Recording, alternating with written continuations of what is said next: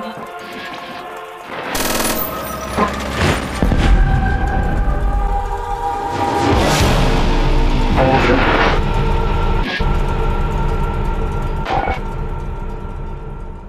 Avant que la vidéo ne commence, ne regardez pas l'espace commentaire. Ça serait fort heureusement dommage que quelqu'un vous spoil après toutes les révélations que je vais faire du début jusqu'à la fin de cette vidéo. Et surtout qu'elles n'ont jamais été révélées, et cela peu importe les différents réseaux sociaux. Mettez la vidéo en plein écran, asseyez-vous confortablement et écoutez attentivement car cette histoire va vous retourner le cerveau. Je dois être la première personne à avoir découvert le secret le plus terrifiant de toute la saga Call of Duty. Et comme j'ai pu citer avant, peu importe les différents réseaux sociaux, mais toujours sans résultat. Pas de post Reddit, pas de vidéo YouTube ou ne serait-ce qu'un thread sur Twitter. Et c'est plutôt assez surprenant pour une saga qui a quasiment 20 ans. Mais laissez-moi vous poser une question. Parmi tous les Call of Duty de la saga, quel a été le Call of Duty le plus oublié d'entre tous? Certaines personnes me citeront Call of Duty Infinite Warfare ou d'autres Call of Duty World War 2 et ceux qui sont encore un peu plus anciens me diront Code 3. Certains dus à des échecs commerciaux comme Infinite Warfare ou une époque pas forcément appréciée comme sur Call of Duty World War 2. Mais en vérité, il y a un Call of Duty que les gens oublient. Call of Duty World at le plus oublié de la saga, sorti durant les années d'or de la licence et dans l'ombre de très grands jeux sortis à l'époque comme Code 4 et Modern Warfare 2. Et pour ainsi dire, le jeu en soi est beaucoup plus étrange que les autres jeux de la saga. Et pour ainsi dire, l'ambiance est très glauque, certains environnements sont sinistres, voire horrifiants, dignes d'un film d'horreur. Les maps multijoueurs sont très lugubres avec une pincée trash au niveau des décors. Aucun jeu de la licence ne possède cet aspect bizarroïde pour un FPS, on peut dire qu'il est assez unique en son genre. Et ce n'est certainement pas pour rien que c'est le premier jeu de la licence qui accueille le mode zombie de Call of Duty avec des premiers personnages connus comme Richthofen, Dempsey. Et la grande question, mais pourquoi? Pourquoi Treyarch a décidé de faire un Call of Duty aussi effrayant lors de la période de Deuxième Guerre mondiale? Lors de ta première fois sur le jeu, ça a dû forcément te déranger comme moi-même, avec ce son ultra flippant, des voix démoniaques qui apparaissent de nulle part. Jugez par vous-même.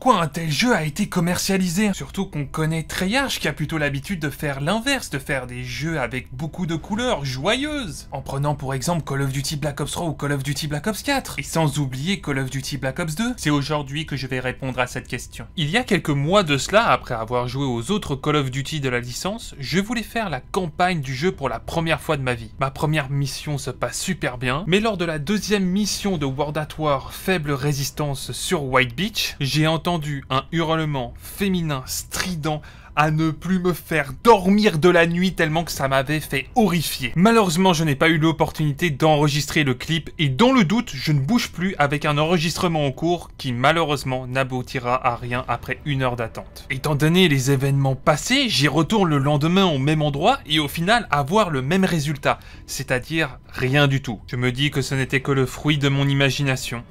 Enfin, c'est ce que je croyais. Je relance World at War un mois après le premier événement, tard le soir, et cette fois-ci j'ai pu enregistrer la voix à 2h13 du matin, située à White Beach. La voici. Don't trust him. He will cut you to pieces.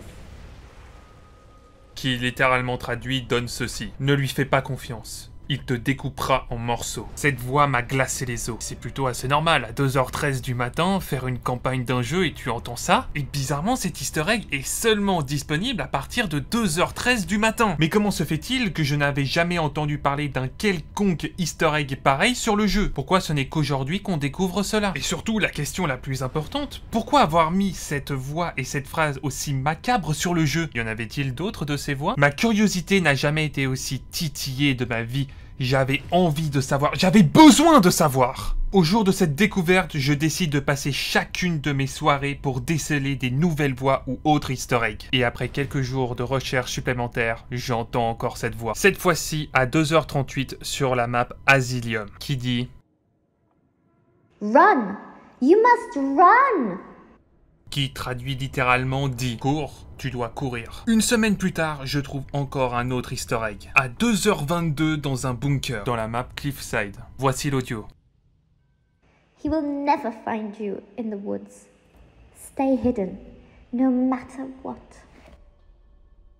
qui signifie il ne te trouvera jamais dans les bois reste caché quoi qu'il arrive. J'aurais beau continuer mes recherches pendant deux semaines à ne plus dormir de la nuit, mais ce fut impossible de trouver un quelconque nouvel indice. Toutefois, je tenais une découverte incroyable entre mes mains, un easter egg qui n'a jamais été révélé, un fantasme pour tout gamer accompli cherchant à connaître les moindres secrets du jeu. Mais il y avait tellement de questions qui me bouffaient le cerveau que j'étais obligé de passer par Reddit. Car c'est ici majoritairement où les personnes peuvent discuter des anciens Call of Duty. Et pour répondre à mes questions, j'étais obligé obligé de m'orienter vers Reddit pour éventuellement avoir un début de piste, un quelconque nouvel indice, pour suivre la bonne direction dans mes recherches. Mais à mon grand regret, aucune nouvelle piste, aucune information viable. Mais une idée me vient des jours après, lors de ma perpétuelle recherche. Je tombe accidentellement sur le profil d'un certain Joe Reebok, développeur chez Treyarch ayant travaillé sur Call of Duty Black Ops 2, Modern Warfare 2019, Black Ops 1 et Call of Duty World at War. Il était plutôt assez actif sur Reddit, et il répondait plutôt assez vite aux questions de la communauté. Si je souhaitais avoir des réponses, c'était la personne la mieux indiquée à me les fournir. Je tente d'entrer en contact avec celui-ci sans être trop lourd. Étant donné qu'il était assez actif sur sa page Reddit, je partais du principe qu'une réponse de sa part était plus que probable. Je décide d'amorcer la conversation ainsi en message privé. Hi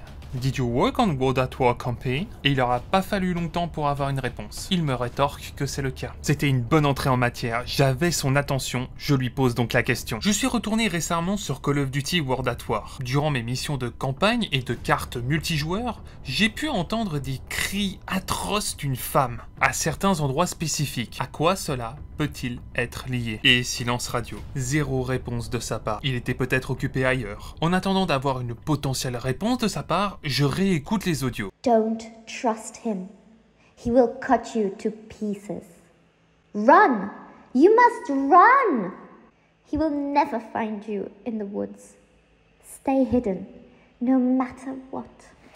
Avec une logique implacable, je décèle donc une femme qui essaye de protéger quelqu'un qui lui est cher. Ou peut-être qu'elle s'adresse à nous directement. Elle connaît visiblement l'agresseur également, ou du moins ses intentions, étant donné qu'elle sait ce qui se passera si elle se fait attraper. Le sexe de l'agresseur est également connu, avec le prénom He, mais cela reste très maigre en information, hormis une localisation, Woods qui signifie forêt, il est impossible d'en tirer plus d'informations. Et visiblement, Joe ne répondant pas à ma question depuis plusieurs jours, le dossier était clos.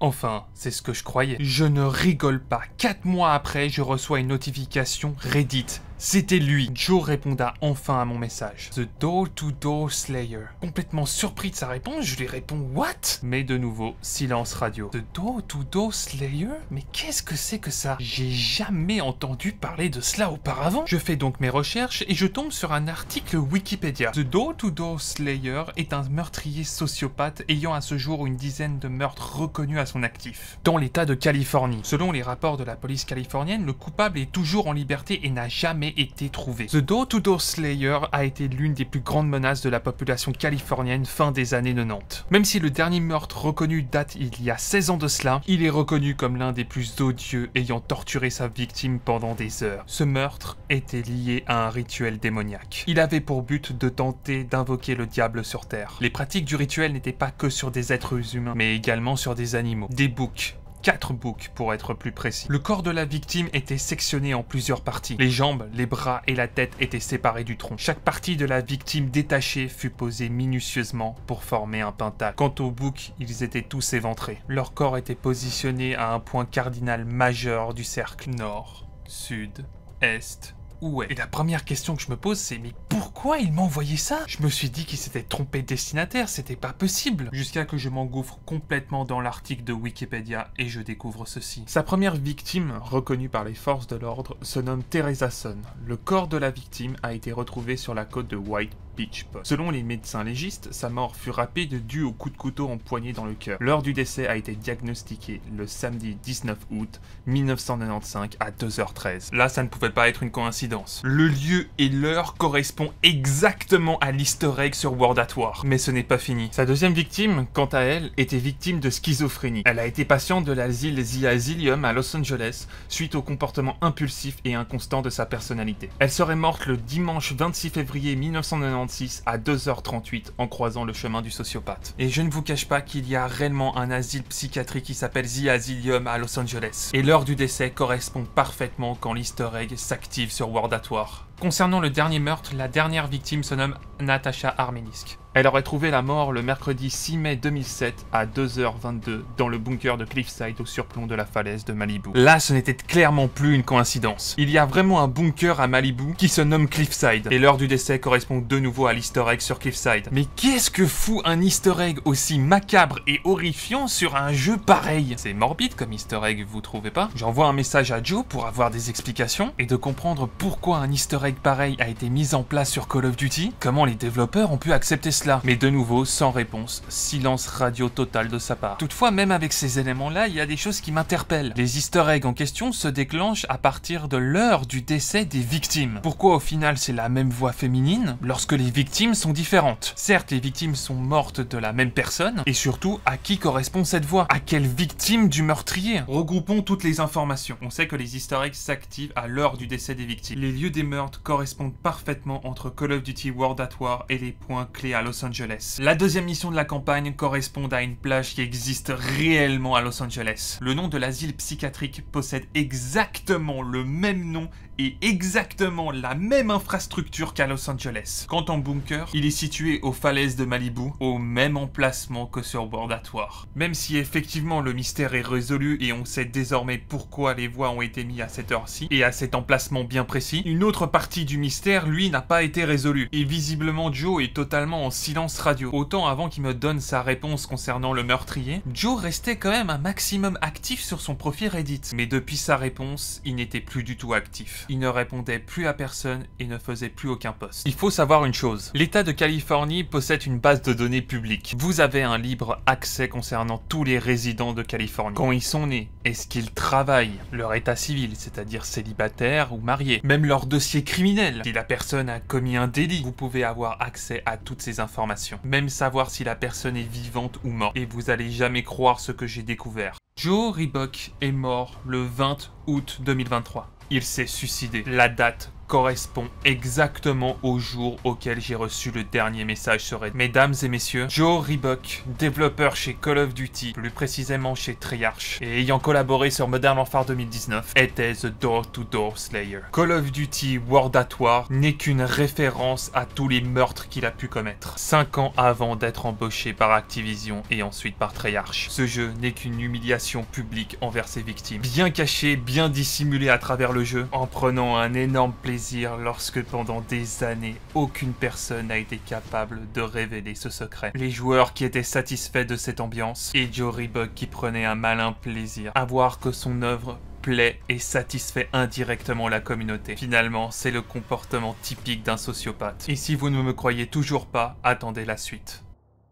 Après vous avoir montré tous les lieux de Los Angeles et où les meurtres ont été commis, même s'il manque des informations, c'est-à-dire Asylum, White Beach Point et Cliffside. Les trois points réunis convergent vers un épicentre. Et cet épicentre est Santa Monica. Et à votre avis, qu'est-ce qu'on trouve à Santa Monica? On y trouve le siège de l'entreprise Il s'agit de nouveau d'un comportement absolument normal venant d'un sociopathe. Et là, tu vas poser la question, mais pourquoi il s'est suicidé du coup? Et en fait, cette réponse, on l'a en retournant sur la page Wikipédia. Suite aux nouvelles technologies disponibles dans l'investigation, le département fédéral d'investigation a décidé de réouvrir le dossier, dans le but d'aider les familles des victimes, et que justice soit faite, tout en voulant redorer le blason de la police de Los Angeles suite aux nombreuses humiliations que le meurtrier a pu commettre. Joe Reebok savait qu'il allait se faire attraper il a donc décidé d'intenter à sa propre vie pour fuir à la justice. Mais je me suis quand même posé une question au final. C'est clairement bizarre qu'un développeur de chez Treyarch a quand même collaboré sur un code d'Infinity Ward, et surtout sur Modern Warfare 2019. C'est extrêmement rare que ce genre de choses arrive. Et c'est à ce moment précis que je me suis rappelé d'un des secrets les plus sombres de Modern Warfare 2019. Sur Modern Warfare 2019, il y a l'un des secrets les plus sombres de toute la saga. En détruisant des ours en peluche simultanément, vous pouvez invoquer un rituel satanique avec quatre boucs. Sur sa dernière collaboration avec Activision, il décide de faire la dernière référence à son dernier meurtre, tout en jouissant encore de la satisfaction des joueurs d'avoir mis un tel easter egg sur le jeu. Mais contrairement aux autres easter eggs, celui-ci a été bien plus travaillé, pourquoi? Et attention aux âmes sensibles, parce que ce que je vais vous révéler est le truc le plus flippant que j'ai pu voir. En recherchant dans les bases de données de la Californie, j'ai recherché le profil de la dernière victime. Le jour de divorce entre Joe Rebuck et Natasha Armenisk correspondent exactement à la même date. Joe et Natasha étaient mariés et ils ont divorcé deux ans avant le meurtre de Natasha. Les voix, les références sont les cris de son ex-femme avant qu'il exécute son rituel, ce qui explique certainement la raison de leur divorce et qu'elle savait également qui était à ses trousses. Mais qui elle a essayé de protéger hein? Et c'est là que c'est encore plus choquant. Elle a essayé de sauver sa fille de son père. En ordonnant sa fille de fuir dans les bois, elle n'a pas pu sauver sa propre vie. Mais sa fille a pu survivre. Car là où a eu lieu le meurtre de Natasha, c'est-à-dire à Cliffside, il y a une forêt à plusieurs hectares, donc très facile de se cacher. Il est dit dans le dernier rapport de police de Los Angeles qu'une petite fille de 4 ans en sanglots a été retrouvée aux abords de la forêt de Malibu. Cette petite fille tenait un ours en peluche et s'appelait bizarrement Samantha. La même Samantha qu'on découvre dans le mode zombie de Call of Duty. Les voix de Samantha ne sont qu'au final des souvenirs que Joe a voulu mettre en place sur les différents jeux. La seule personne qui a réussi à échapper à ces meurtres. Son nom n'a jamais été révélé pendant un long moment pour éviter d'être la victime du meurtrier. Et vous voulez savoir comment j'ai découvert ça? Ben parce que j'ai tout inventé. C'est vrai, cette photo de Joe Reblock, je l'ai créée via une IA. Et puis même Joe Reblock n'existe pas. Je l'ai fabriqué de toutes pièces. The Door to Door Slayer n'existe pas. C'est moi qui m'ai cassé le cul à rédiger un article sur Wikipédia. Les vocaux, c'est juste une pote qui me les a envoyés, puis j'ai utilisé Sony Vegas. Ça m'a pris un temps fou pour les trafiquer. hein. Et sans parler de Tizen qui a créé des faux certificats de résidence en Californie. Et là, je sens certains dans l'espace de commentaires qui vont être hostiles à mon égard. Et vont me poser la question, mais pourquoi tu as fait ça? Vous voyez, c'est simple. Si moi, je suis capable de vous écrire une histoire sur un Call of Duty datant il y a 15 ans de cela, et que j'ai réussi à vous faire rester jusqu'à la fin de cette vidéo sur le Call of Duty le plus glauque de toute la saga, tout en titillant votre curiosité, hein, avec des faux faits intéressants, alors désormais Infinity Ward n'a strictement plus aucune excuse de réaliser un bon Call of Duty, hein, avec des développeurs surpayés hein, qui pondent des merdes depuis plus de 10 ans, lorsque visiblement je peux être dans ma chambre en calbar, à capter l'attention des gens pendant quasiment 20 minutes, sur un Call of Duty de chez Treyarch. Chers développeurs d'Infinity Ward, vous êtes des incompétents du début jusqu'à la fin. Doublés d'amateurisme et sans passion lors de la conception de vos jeux. Cher Infinity Ward, allez vous faire foutre. J'espère que la vidéo vous aura plu, même si vous vous êtes fait troller à la fin. N'oublie pas de vous abonner à la chaîne, beaucoup de personnes regardent la chaîne YouTube mais ne s'abonnent pas, qu'est-ce que tu attends? Abonne-toi. Évidemment de lâcher un gros pouce bleu, tu connais l'objectif, les 1000 likes en moins de 24 heures. Partage la vidéo pour troller quelqu'un, et si tu t'es fait avoir, partage-la carrément à toute ta famille. Et pour ceux qui sont restés jusqu'à la fin, n'hésitez pas à mettre dans l'espace des commentaires spoil, de me dire si tu as kiffé le concept. Je vous avoue que j'ai mis beaucoup de temps à la réalisation du scénario, ça a été très compliqué, et avoir votre avis sur la question, ça serait plutôt cool. De me suivre sur les différents réseaux sociaux, et moi je vous dis bye et à la prochaine pour une toute nouvelle vidéo sur Call of Duty. Ciao ciao tout le monde. Attends, t'es toujours pas abonné là? Bah tu t'abonnes, primo. Deuxièmement, tu lâches un like, et ensuite tu me follow sur les différents réseaux sociaux. Hein, que ça soit Twitter, Instagram, tu fais la totale. Et t'oublies pas de checker les autres vidéos.